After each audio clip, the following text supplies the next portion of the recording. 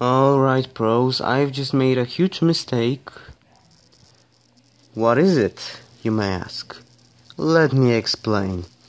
Uh, when I've made my um, Let's Talk About video, more specifically episode 14, I've said that I would put a link in the description to a specific video. This video was supposed to be um, my gaming chair unboxing I did a few days ago. Yeah, a few days ago or a week ago. I actually don't remember now. So yeah, sorry for that mistake, and um, I will fix it as soon as I get back because I'm not home right now. Well, um, yeah, one more thing before I go. Since this is supposed to be a comedy short, I have to tell you something funny.